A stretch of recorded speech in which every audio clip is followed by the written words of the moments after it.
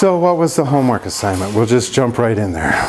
Crystal. And packing. Styrofoam and crystal. Now, why in the world would I choose styrofoam, packing styrofoam, of all things? Because one. It's a contemporary, iconic thing. Like Jiffy Pop popcorn that pops, you know, the, the very few stores carry that. It's kind of so iconic, it's a period of time. Part of being an artist is having that idea, something happens right now, and being awake to see it.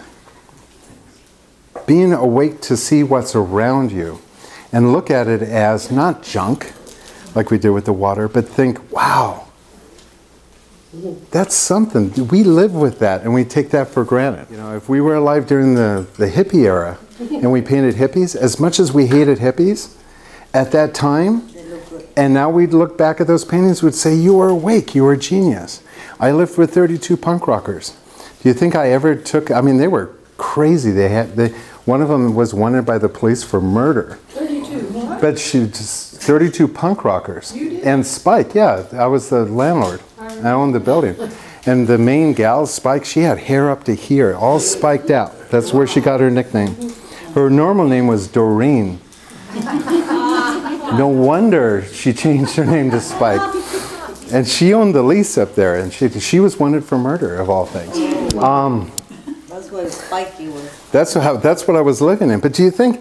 And I was kind of friendly with them because I wanted them to pay the rent, and I was always they never did. But um, but the but the thing is, if I would have said, "Hey, Spike," instead of coming down and pay the rent, why don't you model for me and let me paint you?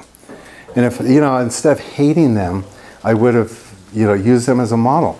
Imagine if I would have painted all the punk because that was such a short period of time, mm-hmm. and it was so iconic dress and the hair and the, the all of the spikes all over the place and all of that stuff. But I wasn't awake enough. There were very few people that were awake to paint the 60s. How many people are painting men with their pants pulled down, or you know? But the thing is, that's part of our era. We're, that's been a long era.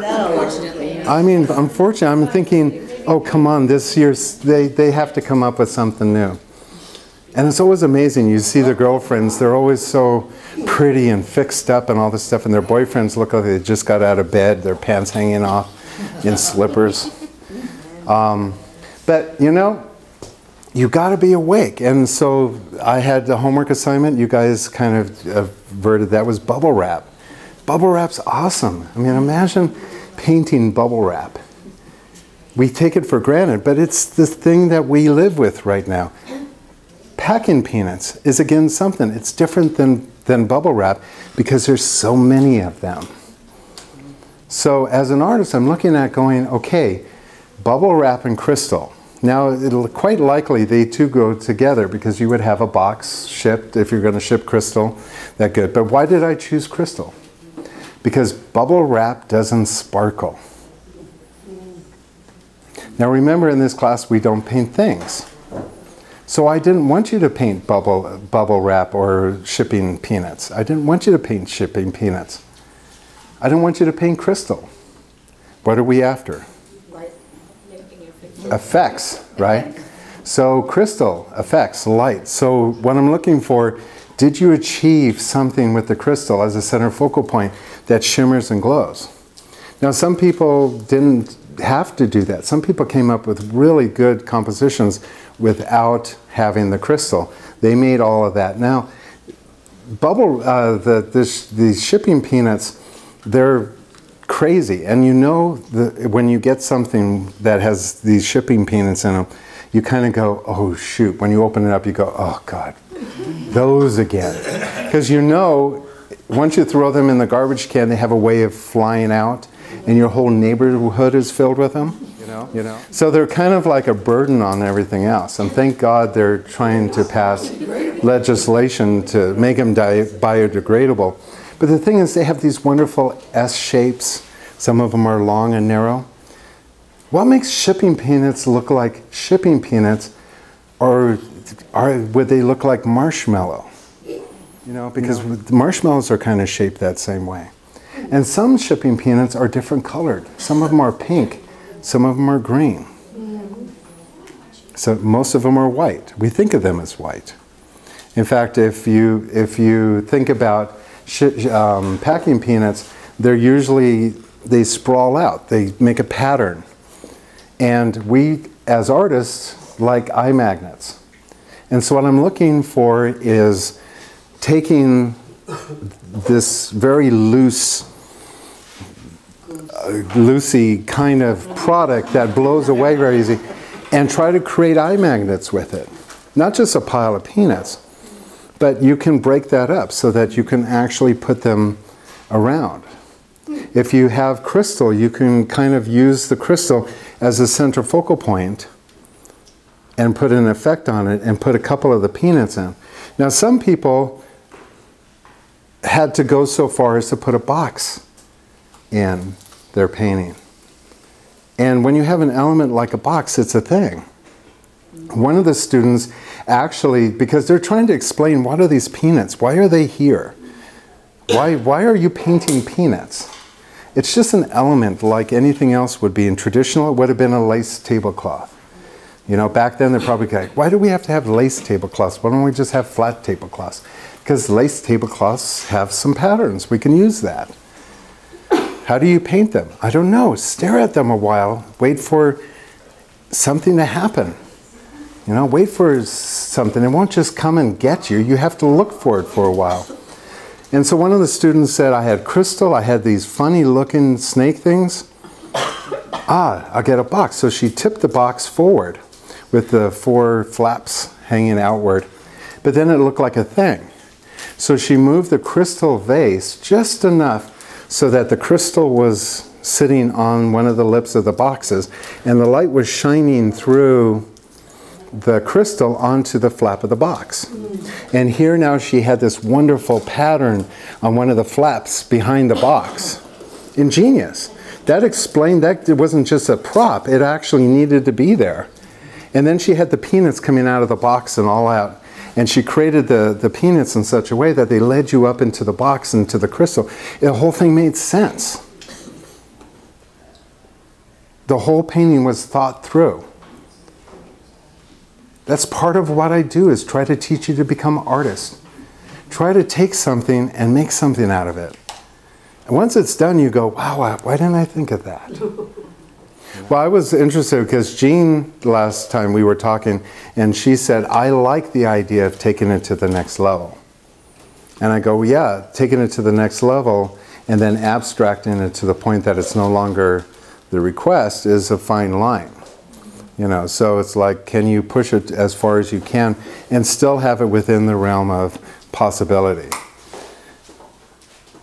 Maybe you're not after possibility. Like you said, for you, it's a lot more interesting to to push the envelope a little bit, right?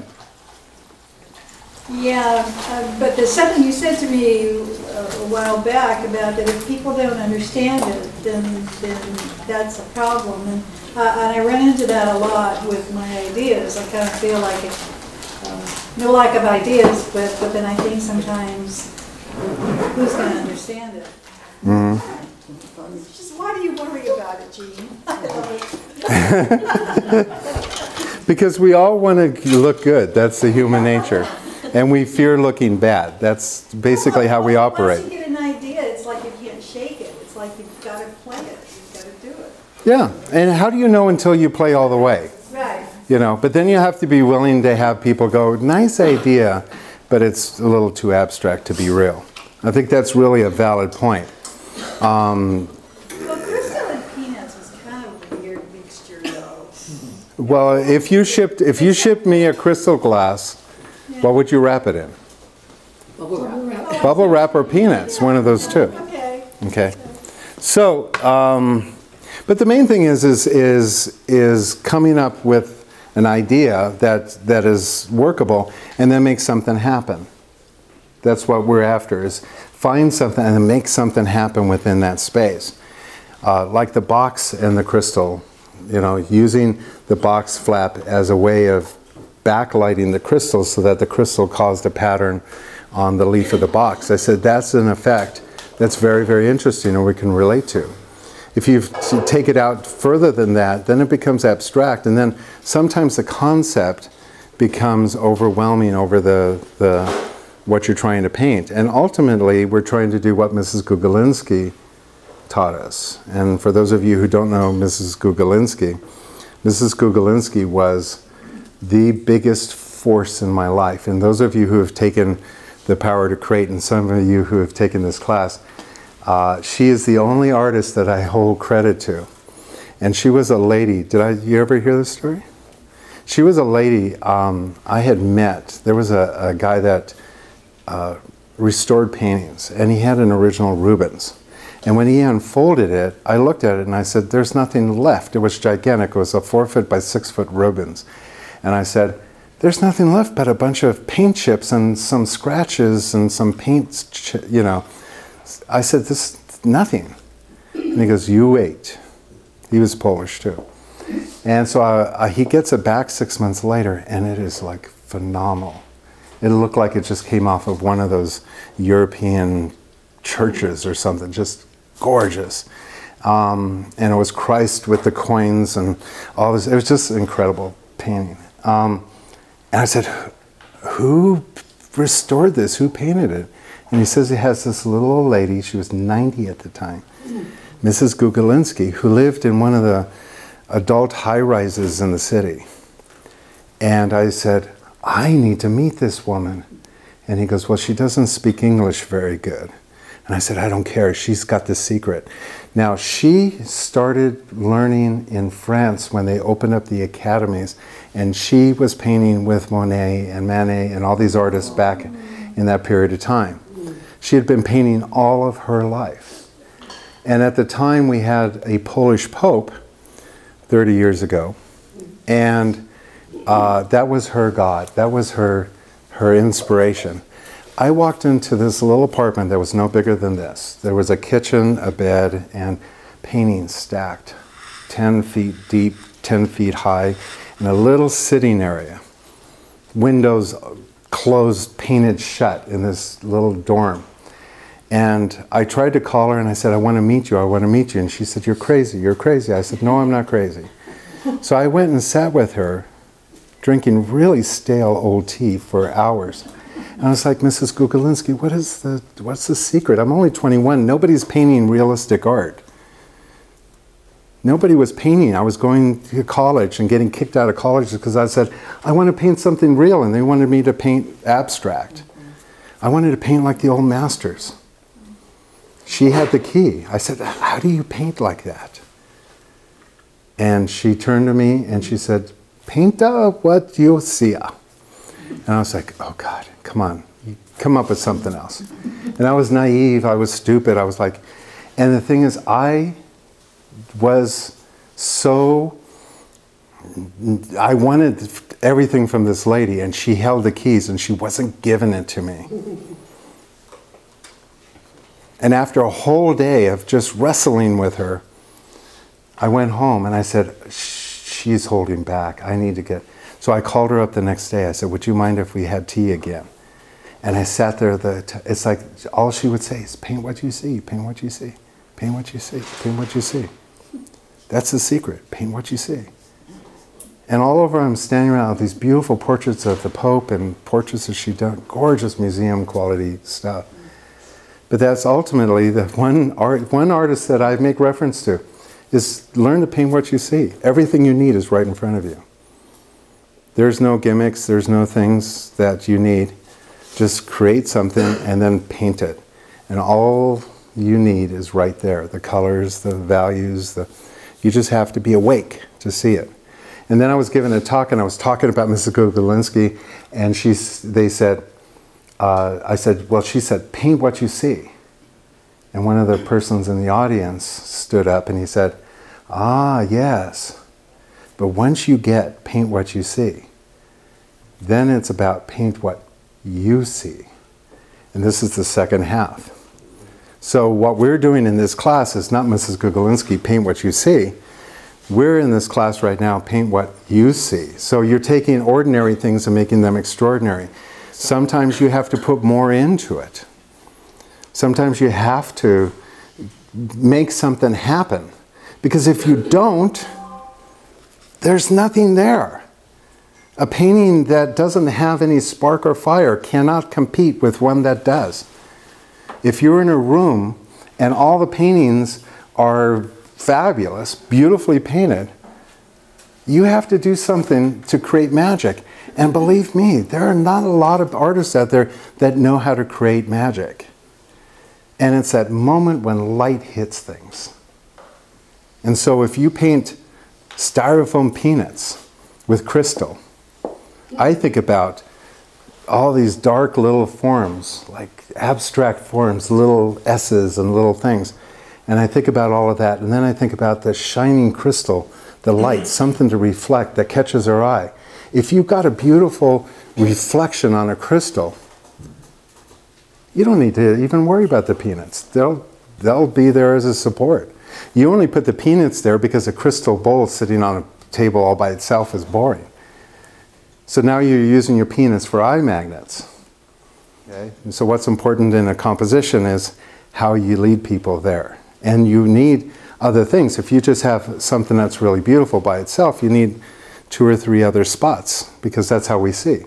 When I'm looking at something, I look at it, and when you have a conversation with somebody, you're looking at them, but you glance away.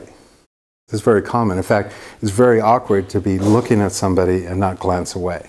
After a while, they're like, oh, something on my nose? you know.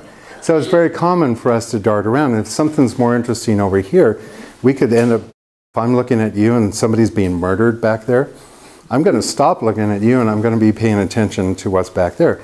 But if it's not that interesting, if it's just a fleeting dog running or something, I'll catch it and come back to you.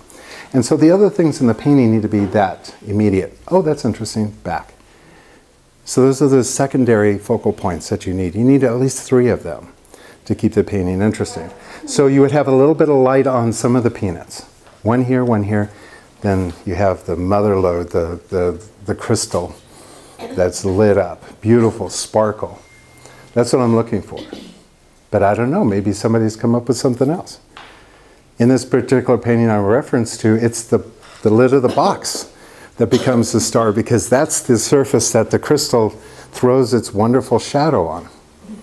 And I go, God, that's great because now we're not even looking at the crystal anymore, we're looking at the lid of the box. And it needed to be in there. So that's, that's what I'm saying. You, could, you don't have to be clever, you just have to think it up.